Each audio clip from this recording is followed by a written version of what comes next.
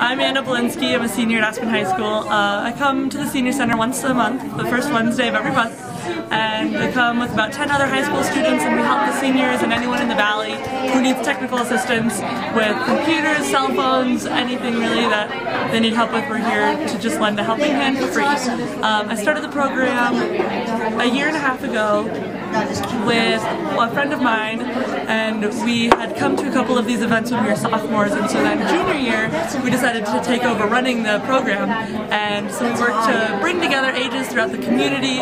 We do events for middle schoolers and elementary schoolers as well as high schoolers, senior citizens to really just bring everyone in the valley together and to cultivate relationships and friendships through all generations.